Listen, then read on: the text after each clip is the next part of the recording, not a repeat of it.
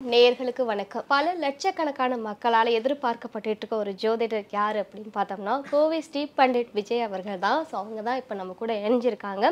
நமக்காக நிறைய கேள்விகளுக்காக பதில் சொல்கிறதுக்காக இருக்காங்க. முதல்ல இந்த நிகழ்ச்சியில் அவங்கள வரவேற்றலாம் வணக்கம். வணக்கம் சார். வணக்கம்.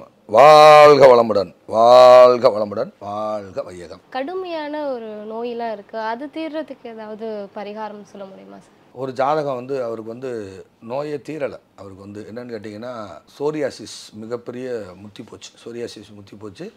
இந்த ஸ்கின் எல்லாம் கிராக் கிராக்காக இருக்கும். அப்படியே புண்ணு மாதிரி புண்ணு மாதிரி பாலம் பாலமாக வெடிக்கும். அப்படி ரோபோ மாதிரி தான் நடக்க முடியும் அவர். அந்த மாதிரி ஒரு கண்டிஷனில் தீராத நோய். அப்போ அந்த ஜாதகத்தை கொண்டு வந்து கொடுக்குறாங்க. இவருக்கு சோரியாசிஸ் இருக்கான்னு கேட்டேன். அது ஆமாம் சார் சோரியாசிஸ் இருக்குது சார்.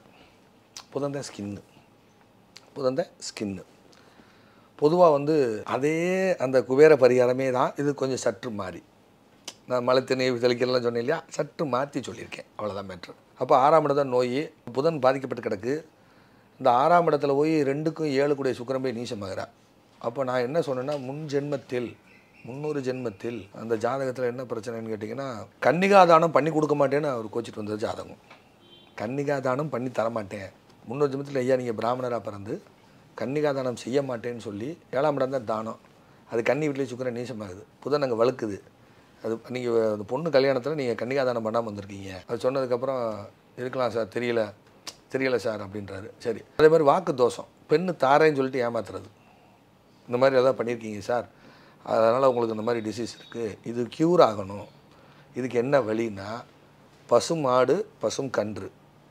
பால் அருந்தக்கூடிய நிலமையில அந்த கன்று இருக்கணும். இந்த பசுமாடு கன்றை ரெண்டையும் வாங்கி திருவண்ணாமலையில் அண்ணாமலையாரை ஆப்போசிட்டில் கிரிவலம். கிரிவலம் அப்படி கிளாக் வைஸ் கிடையாது. ஆப்போசிட்டில் அந்த மாடு கன்றோட கிரிவலம். ஐயா அவரால் நடக்க முடியாது. அவங்க துணைவியார் செய்யலாம். மாடு கன்றோட கிரிவலம் வந்து அந்த மாடு கன்றை யாராவது ஒரு ஏழை ரோட்டில் போகிற யாராவது மாடு வேணுமா கன்று வேணுமா யாராவது வாங்கிக்கோங்க அப்படின்னு சொல்லி அதை தானம் கொடுக்கணும். யாருமே வாங்க ஆள் வரல. இது வாங்கி கொண்டு கட்டுறது? யாருக்கு தீவனம் போடுறது? இப்படி ஒரு பிரச்சனை இருக்குது யாருமே வாங்கலை. அப்புறம் அங்கேருந்து ஃபோன் பண்ணாங்க. ஃபோன் பண்ணி சார் யாருமே வாங்க மாட்றாங்க சார். எல்லாம் நம்மளை மாதிரி பா கிரிவலம் வரக்கூடியவங்க. அப்போ நேர் அண்ணாமலை பகுதியில் பக்கத்துலேயே கிராமம்லாம் ஒரு வில்லேஜ் மாதிரி வரும். நேர் நேர் அண்ணாமலைன்னு சொல்லி. அடி அண்ணாமலை. அங்கே போய் நீங்கள் யாராவது கேளுங்க. அப்படின்னு சொன்னேன் அங்கே போய் ஒருத்தர் யா- யார்கிட்ட போய் கேட்குறது கோயில் அங்கே உள்ள ஒரு கோயில் இருக்குது அங்கே போய் கேளுங்க. அவங்களே ஏதாவது சொல்லுவாங்க. அப்படின்னு சொல்லி பிரசனம் போட்டு. அம்மாவே நாங்கள் வளர்த்துக்கிறோம்னு சொல்லி அவங்க வாங்கியிருக்காங்க. அதை வாங்கிட்டு அதுக்கப்புறம் கோசாலையில் போய் பூஜை செய்யணும். திருவண்ணாமலை கோயில் கோசாலை இருக்கு இல்லையா? ஏதாவது ஒரு கோசாலையில் கோசாலையை சுத்தம் பண்ணி மாடுகளை குளிப்பாட்டி மஞ்சள் நீர் தெளித்து தூப தீபம் காட்டி கோசாலையை வழிபட்டு வர நோய் தீரும் மேட்டுப்பாளையத்தில் இந்த மாதிரி மருத்துவர் பேர் கொண்டவரை போய் பாருங்கன்னு சொல்லி செஞ்சு ஹண்ட்ரட் பர்சன்ட் ரெக்கவரி சோரியாசிஸை குணப்படுத்தவே முடியாது. டோட்டலாக ரெக்கவரி மேட்டுப்பாளையத்தில் ஒரு மருத்துவர் இருக்கார் அவர் போய் பாருங்கள் அது செஞ்சதுக்கப்புறம் சக்ஸஸ் இது தீராத நோய் தீர்க்கறதுக்கு இப்படிலாம் சொல்லியிருக்கேன் சொல்லியிருக்கேன். ஏன்னு கேளுங்க ஏழாம் இடம் தானம் ஆறாம் இடம் கடன். கன்னிக்கு பாக்கிய வீடுங்கிறது எது அப்படின்னு கேட்டிங்கன்னா கன்னிக்கு பாக்கிய வீடு ரிஷப வீடு. கன்னிக்கு பாக்கிய வீடு ரிஷப வீடு. அதில் காலபுருஷனுக்கு பதினாலு கூடிய சந்திரன் போய் அங்கே உச்சமாகிறாரு. ரிஷபம் கால்நடை சந்திரன் தாயி சந்திரன் தாயி இந்த புதன்கிறது இளம் கன்று புதன் இளமை அங்கே போய் சுக்கரன் நீசமாகிறாரு ஸோ இதெல்லாம் தானம் கொடுத்து திருவண்ணாமலை அதில் என்னன்னு கேட்டிங்கன்னா கிருத்திகள் இருந்துச்சு எல்லா கிரகமும். கிருத்திகை நட்சத்திரங்கிறது யார்? கிருத்திகைக்கு யாருக்கு தீபம் கிரிவலம் போறீங்க? அண்ணாமலையா இருக்குது அது ராகு பார்த்தனால ஆப்போசிட்டில் சுற்றுங்கன்னு ராகு பார்த்தனால ஆப்போசிட்டில் திருவண்ணாமலை சுற்றி வந்து அது அடி அண்ணாமலையில் தான் அவங்க தானாங்கன்னு பேர் கரெக்டாக சொல்லியிருக்கீங்க. யாராவது வருவாங்க ஐயா வெயிட் பண்ணுங்கன்னு. கோயிலில் போய் கட்டுக்கிட்டோம் இப்போ எப்போ யாராவது கூட்டுவாங்கப்பான்னு. அதில் ஒரு பையன் போய் மாடு வளர்க்குது வாங்கிக்கிறோம்னு சொல்லியிருக்கேன் ஒரு பையன். அவர் பேரை கட்டோன்னே அந்த அம்மா அப்படியே ஒரு மாதிரி கண்ணில் தண்ணீர் வந்துருச்சு அந்த அம்மாவுக்கு. அழுகுறாங்க அம்மா இருந்தாங்க ஐயா ஒருத்தவங்க வந்து வாங்க வரான்னு இருக்காங்கன்னு. பொறுங்கம்மா வருவாங்கம்மா. மாடு கொடுத்தோன்னே அந்த அம்மா வாங்கிக்கிட்டாங்க. கரெக்டாக ஒரு அறுபது எழுபது நாளில் அவருடைய சோரியாசிஸ் ரெக்கவரி ரோபாட்டிக் மாதிரி இருப்பாருமா அவர். அவருக்கு சொல்லி சரியாக இருக்குது சூப்பர். ஸோ நான் சொல்கிற பரிகாரம் சரியான பரிகாரம் நான் அப்படி யாரையும் ஃபாலோ பண்ணி சொல்கிறது இல்லை ஒரு பரிகாரம் ஒரு ரூட் இல்லை. பரிகாரம் எப்படி வேணாலும் சொல்லலாம். அதுக்காக முறையான பரிகாரம் சொல்லணும். நான் புரிகிறதுக்காக சொல்லுதேன். இது நகைச்சுவை அல்ல. ஒரு நம்மளை நம்பி வர்றாங்க. அவங்களுக்கு நம்ம சரியான தீர்வு சொல்லணும். சில நேரங்களில் எனக்கே டைம் பத்தாது. நேரம் பத்தாது. வெயிட்டிங்கில் இருக்காங்க. டக்கு டக்குன்னு பத்து நிமிஷத்தில் பதினஞ்சு நிமிஷத்தில் முடிச்சிருப்பேன். ஆனால் பரிகாரம் வேலை செய்யும். பரிகாரம் வேலை செய்யும். ஒரு சிலருக்கு எதுவுமே சொல்லாமல் சார் இந்த பரிகாரம் மட்டும் செய்யுங்க சார். அப்படி சொன்னதெல்லாம் இருக்குது எனக்கு நேரம் இல்லாத காரணம். ஆனால் பரிகாரம் சத்தியமாக வேலை செய்யும். நம்பினார் கெடுவதில்லை. இது நான்கு முறை தீர்ப்பு. புரியுதா? அவ்வளோதான்ப்பா ஓகே. சார். கேட்கவே எங்களுக்கே அதிசயமா இருக்கும் நீங்க ஒவ்வொரு விஷயமும் சொல்ல சொல்ல. அதே போல இப்போ இந்த குடல் புண் அல்சர் அதுக்கப்புறம் வயிற்று புண் இந்த மாதிரியான பிரச்சனைகள்ல வந்து அதிக அளவுல பாதிக்கப்பட்டுட்டு இருக்காங்க. அதுக்கு ஏதாவது பரிகாரம் சொல்ல முடியுமா? நோய் தீர்றது. நோய் தீர்றதுக்கு. ஒரு ஜாதகம் அவங்களுக்கு வந்து இந்த மாதிரி குடல் புண்ணு இருக்குது அது குடல் புண்ணே தீரலை. இப்போ நான் என்ன சொன்னேன்? அஸ்வினி நட்சத்திரத்தை அண்டு. அஸ்வினி நட்சத்திரத்தை அன்னைக்கு தேங்காய் சாதமும் இட்லியும் தானம் கொடுங்க. தேங்காய் சாதமும் இட்லியும் ஒவ்வொரு அஸ்வினிக்கும் கொடுத்துட்டு வாங்க. கண்டினியூவாக கொடுத்துட்டு வாங்க. அது அஸ்வினியிலேருந்து அஸ்வினி பரணி கிருத்திகை ரோகிணி மிருகசிரிசம் திருவாதிரை புனர்பூசம் பூசம் ஆயில்யம் மகம். இந்த பதினோராவது நட்சத்திரம் வரைக்கும் கண்டினியூவாக பதினோரு நாள். அதான் ஏலப்பாளையலுக்கு. ஏலப்பாளையம் தேங்காய் சாதம் அண்டு இட்லி. வாங்கி பதினோரு பதினோரு நாள் சாப்பாடு தானம் கொடுத்துடணும். மக அஸ்வினியில் ஆரம்பித்து மகத்தில் முடியணும். அஸ்வினியில் ஆரம்பித்து மகத்தில் முடியணும். மகம் காலபுருஷனுக்கு அஞ்சாம் இடம். அஞ்சாம் இடம் தான் வயிறு. மக நட்சத்திரம் எங்கே இருக்குது சிம்மத்தில் இருக்குது கொடுத்துட்டு வரணும். அதுவும் நெருப்பு ராசி இதுவும் நெருப்பு ராசி. புரியுதா? என் வயிறு எரிஞ்சு ஜாபம் கொடுக்குறாங்களா இல்லையா? அது நெருப்பு ராசி. ஏ நல்லா கேட்டுக்கிடுங்க. மேஷம் ரிஷபம் மிதுனம் கடகம் சிம்மம். இந்த வயிறுங்கிறது ஜீரண மண்டலம். அப்போ ஜீரண மண்டலமாகிறதுக்கு அது என்ன தத்துவத்தில் இருக்கணும்? உஷ்ண தத்துவத்தில் இருக்கணும். உஷ்ணம் ஓவராகவும் போயிடக்கூடாது. புரியுதா இல்லையா? அப்போ ஜீரண மண்டலத்துக்கு அங்கே இயக்கத்துக்கு அங்கே நெருப்பு தத்துவம் வேணும். காலபுருஷ ராசி எவ்வளோ அழகாக தெளிவாக வச்சுருக்காங்க அந்த காலத்தில். நெருப்பு ராசி நிலராசி காற்று ராசி நீர் ராசி நெருப்பு ராசி அஞ்சாறு ராசி. அப்போ அஸ்வினியில் ஆரம்பித்து இது வரைக்கும் தானம் கொடுத்துட்டு அதுக்கு பிறகு அந்த பதினோரு நாள் தானம் கொடுத்து முடித்த பிறகு வெண்டைக்காய் இருக்கு இல்லையா? அது பொடி பொடியாக கட் பண்ணி தண்ணியில் ஊற வச்சிடணும் தண்ணியில் நைட்டில் ஊற வச்சிடணும் காலையில் எழுந்து அந்த வெண்டைக்காய் பீஸை மட்டும் வெளியே போட்டுட்டு அந்த தண்ணியை வடிகட்டி குடிச்சிடணும் எம்டி ஸ்டமக்கில் குடிச்சிடணும் குடிச்சு ஒரு அரை மணி நேரத்துக்கு டீ காஃபி சாப்பிடக்கூடாது. ஒரு நடைப்பயிற்சி எதாவது பண்ணலாம். வேறு தண்ணி வேணால் குடிக்கலாம் எக்ஸ்ட்ரா ஆனால் உட்காந்து தான் குடிக்கணும் நின்றுட்டு குடிக்கக்கூடாது அதுக்கு பிறகு என்ன செய்யணும்னா ஒரு டம்ளர் சுடு தண்ணி ரெண்டு ஸ்பூனு வெண்ணெய் அதில் இந்து உப்பு இதை கலந்து குடிக்கணும். அந்த வெண்ணெயில் சுடுதண்ணி மிக்ஸ் ஆகி இந்து உப்பு மிக்ஸ் ஆகி அந்த குடல்ல இருக்க புண்ணு மேலே வரும் அப்படியே லேயராக ஃபார்ம் ஆயிரும். உப்புக்கு வைரஸ் அழிக்கக்கூடிய தன்மை உண்டா இல்லையா? குடல் புண்ணு ஏன் ஆறாதுன்னா அது சன்லைட் படாதனால ஆறுறதில்ல அது ஈரத்துக்குள்ளே இருக்கா இல்லையா? அதனால் ஆறாது. அப்போ உப்புக்கு அந்த கிருமிகளையும் புண்ணையும் அழிக்கக்கூடிய ஆற்றல் உண்டு. வெறும் உப்பு இந்து உப்பு சாப்பிட்டா குடல் வெடிச்சிடும் அதில் பாஸ்பரஸ் இருக்குது காணாம பண்ணிடும் அதில் வெண்ணெயில் கலக்கும்போது அதனுடைய வேதி வினை மாறி விடுகிறது வேதிவினை மாறிவிடுகிறது. மாறி விடுகிறது பேஸ்ட் மாதிரி அப்படியே அப்ளை ஆயிரும் உள்ள. குடல் பூரா லேயர் எல்லா லேயர்லேயும் மாறிடும் முப்பது மீட்டரும் ஒரு மனுஷனுடைய குடல்? முப்பது மீட்ரு. தண்ணி எங்கேயா குடிக்காங்க? நின்றுட்டு குடிக்கிறாங்க. நின்றுட்டு குடிச்சா நேராக யூரின் டேங்க் போயிடும் உட்காந்து குடிச்சிங்கன்னா அந்த குடலில் பூரா சுற்றி சுற்றி சுற்றி சுற்றி குடலில் பூரா க்ளீன் பண்ணிக்கிட்டே இருக்கும். நீங்கள் உட்காந்து தண்ணி குடிங்க. ரெண்டு லிட்டர் தண்ணி கூட குடிங்க. உடனே யூரின் வராது. த்ரீ ஹவர்ஸ் ஆகும். உட்காந்து குடிச்சிங்கன்னா நின்றுட்டு குடிச்சிங்கன்னா பத்து நிமிஷத்தில் யூரின் வந்துடும் அப்போ அது தண்ணி குடித்தது வேஸ்ட்டு அப்போ இது மாதிரி செய்யுங்க. இந்த தானம்லாம் கொடுத்தக்கப்புறம் அதை செய்யுங்கன்னு செஞ்சு இன்றைக்கி அவர் குடல் புண்ணே இல்லை. கோயம்புத்தூரில் ஜெம் ஹாஸ்பிட்டலில் போய் செக்அப் பண்ணியோ இனி ஒன்றுமே இல்லையாங்கிறாங்க. இந்த வெண்டைக்காய் தண்ணிக்கு வந்து குடல் புண்ணை ஆற்றக்கூடிய தன்மை உண்டு. இன்னொன்று என்ன கேட்டிங்கன்னா மெமரி அதிகமாக இருக்கும். பயங்கர மெமரி இருக்கும். நான் காலையில் டெய்லி நைட் என்னோட வெண்டைக்காயை நல்லா மஞ்சள் தண்ணியில் கழுவிடுவேன். மஞ்சளில் கழுவிடணும். கழுவிட்டு பிடிப்படியாக கட் பண்ணி தண்ணியில் ஊற வச்சுருவேன். காலைல எழுந்தோடனே முதல்ல அதுதான் குடிக்கிறேன் நாலு நான் அஞ்சு மணிக்கு நான் நாலரைக்கெலாம் அப்பாயின்மெண்ட் பார்க்கணும். எந்திரிச்சு டக்குன்னு போய் அதை எடுத்து குடிச்சிடுவேன் ப்ரஷ் பண்ணிவிட்டு காலைல நாலு மணிக்கு எழுந்து குளிச்சிடுவேன் சாப்பிட்டுட்டு அதுக்கப்புறம் அப்பாயின்மெண்ட் பார்ப்பேன். பார்த்துட்டு திருப்பி வாக்கிங் போய்டும் திருப்பி ஒரு ஆள் குளிக்கிறது. இந்த அது வந்து மெமரிக்கும் நல்லது. லங்ஸை நூறு சதவீதம் வெண்டைக்காய் சுத்தம் பண்ணும். ஃபைபர் தாயி வெண்டைக்காய் ஃபைபர் அந்த வெண்டைக்காயோடைய ஜூஸ் பூரா அந்த தண்ணியில் இறங்கிரும். நல்லா வளவளப்பு தன்மையாயிரும். அந்த புண்ணை பூரா ஆற்றிடும் அவர் பெரிய ட்ரிங்கர் அவர். குடிச்சு குடிச்சு குடல் வந்து போச்சு. நீ குடிப்பீங்களான்னு ஐயையோ ஜென்மத்துக்கு குடிக்க மாட்டேன் ஜாமிங்கிறாரு. இது செஞ்சதுக்கப்புறம் நல்லா இருக்காரு. இப்போ புண்ணும் கிடையாது ஒன்றும் கிடையாது அவருக்கு. இப்படிலாம் சொல்லியிருக்கேன் ஸோ சயின்டிஃபிக்காக செய்யணும். இதில் ஏன்னு கேட்டிங்கன்னா ஆறாம் இடம் தான் ஆறாம் இடம் தான் என்னது? குடல். அஞ்சு வயிறு. அதுக்குள்ளே இருக்கிற ஆறாம் இடம் தான் குடல். அங்கே போய் யார் நீச்சமாகறா? சுக்கரன் நீச்சமாகறாரு. அங்கே புதன் வழுக்கிறாரு. புதன் தான் வெண்டைக்காய். அதுக்கு லாப வீடு அது சந்திர வீடு. சந்திரன் தண்ணி. வெண்டைக்காய் வெட்டி தண்ணியில் ஊற வச்சு அதை சாப்பிடுங்க.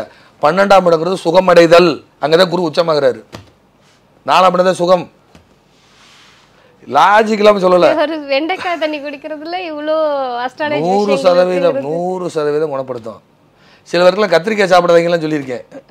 கத்திரிக்காய் சாப்பிட்டா கல்யாணம் நடக்காது பேசாமல் இருக்கேன் யோகா வேணா கத்திரிக்காய் சாப்பிடாதீங்க. அதில் ஒருத்தர் சொன்னேன் என்ன மாமா கத்திரிக்காய் சாப்பிட வேணாங்கிறீங்க எனக்கு அதையா பிடிக்கும். அதையா பிடிக்கும். ஆனால் அதை கிறங்கந்தவனை பிடிச்சி ஆட்டம். சாப்பிடாத.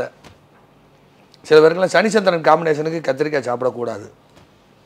சாப்பிட்டாங்கன்னா அவங்களுக்கு எதிர்மறையாக வேலை செய்யும். அது எதிர்மறையாக வேலை செய்யும். நிறைய இருக்குது பரிகாரம் ஒரு ரூட் இல்லை. பிரபஞ்சத்தளவுக்கு ஜோதிடம் ஜோதிடத்தளவுக்கு பரிகாரம்.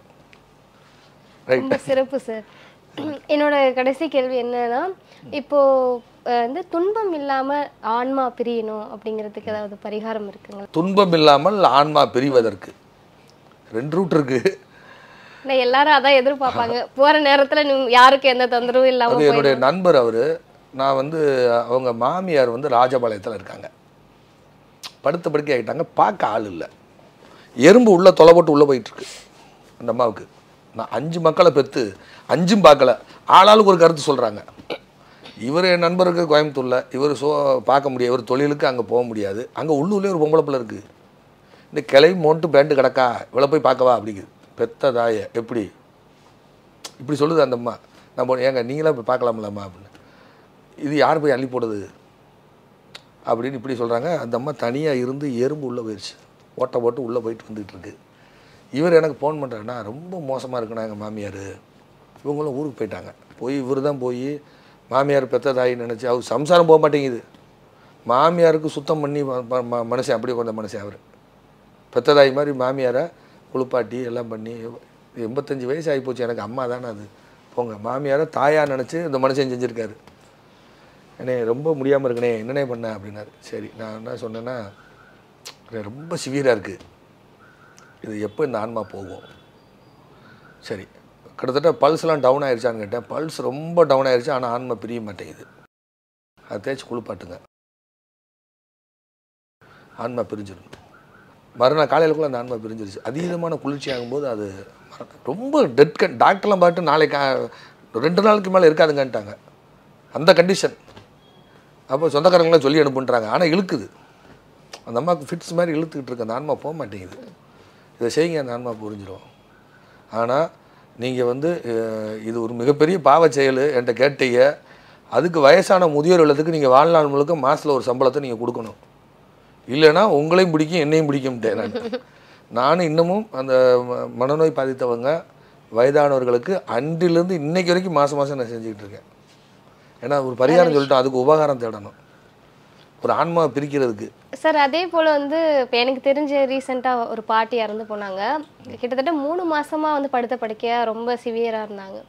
அவங்க போகலை அப்படிங்கிற முடியல செய்ய முடியல யாரும் பண்ண முடியலன்ட்டு ஸ்ரீவாஞ்சம் அங்கேருந்து போய் ஒரு தண்ணி வாங்கிட்டு வந்து கொடுத்தாங்க. அதுக்கப்புறம் தான் அவங்களோட ஆன்மா பிரிஞ்சுது. இதெல்லாம் வந்து பாவ செயலா இல்லையா சார் அது பாவ செயல் தான் நிச்சயமாக தானாக போகிறத தடி கொண்டு அடிக்கிற மாதிரி தான். ஆனால் அந்த ஆன்மா வந்து சீரழிச்சுக்கிட்டு இருக்கு. அப்போ இறைவனை பிரார்த்தனை செஞ்சுட்டு இறைவா சீக்கிரம் எடுத்துக்கொள் அப்படின்னு சொல்லி வேண்டி அதை செய்யணும். இது பாவ செயல் தான் நூறு சதவீதம். அதுக்காக தான் அவருக்கு நான் சொல்லியிருந்தேன். ஏன்னா அவர் தானே அதை போய் செய்கிறாரு நீங்கள் அது தொடர்ச்சியாக அதை செஞ்சுட்டு வரணுன்னே நான் நான் செய்கிறேன்னான்ட்டார் இன்னமும் முதியோர் இல்லங்களுக்கு அவர் இன்னைக்கு வரைக்கும் நன்கொடை கொடுத்து கொண்டு இருக்கிறார் அதுக்காக நல்லா ஆளுக்கு நல்லா இருக்க ஆளுக்கு கொடுத்தாங்கன்னா சிக்கல் அது.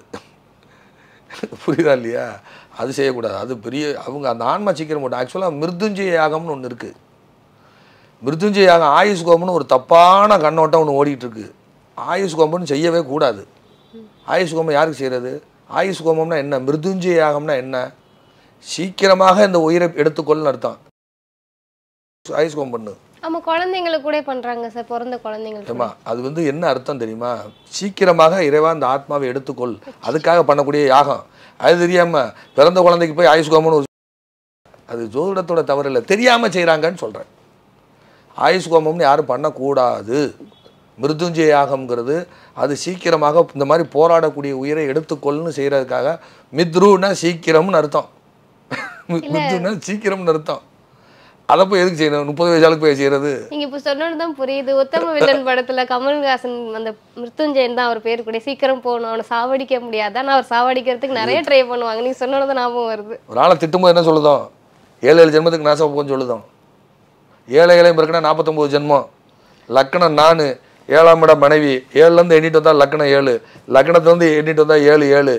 ஏழு ஏழும் சேர்ந்து தான் ஒரு உயிர் உண்டாகுது. அதில் தான் சூரியன் நீசமாகிறான் ஆத்மகாரகன் துலாத ராசியில் நீசமாகிறான். அதில் போய் சனி காலபுருஷனுக்கு பத்து கூடைன்னு உச்சமாகிறான். புரியுதா இல்லையா?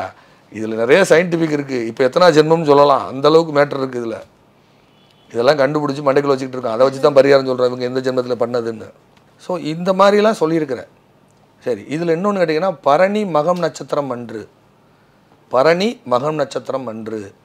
கோயிலில் அபிஷேகம் பண்ணுவாங்க இல்லையா? அந்த கோமுகம்னு சொல்லுவாங்க. அதில் வரக்கூடிய தீர்த்தத்தை எடுத்து அது சிவன் கோயிலாக இருக்கணும் தீர்த்தத்தை எடுத்து அந்த ஈசனை பிரார்த்தனை செய்து இவங்களே அபிஷேகம் பண்ணணும். சிவபெருமானுக்கு அபிஷேகம் பண்ணி பன்னீர் தீர்த்தம் தான் பன்னீரால் அபிஷேகம் பண்ணி அந்த தீர்த்தத்தை எடுத்து கொண்டு வந்து படுத்த படுக்கையில் இருப்பவருக்கு அந்த வாயில் அதை கொஞ்சம் இந்த தீர்த்தம் ஊற்றி ஆச்சுன்னா த்ரீ டேஸ் தான் அந்த ஆன்மா. பிரிஞ்சிடும் ஆமாம் இது வந்து கொலைக்கு சமம்லாம் இல்லை.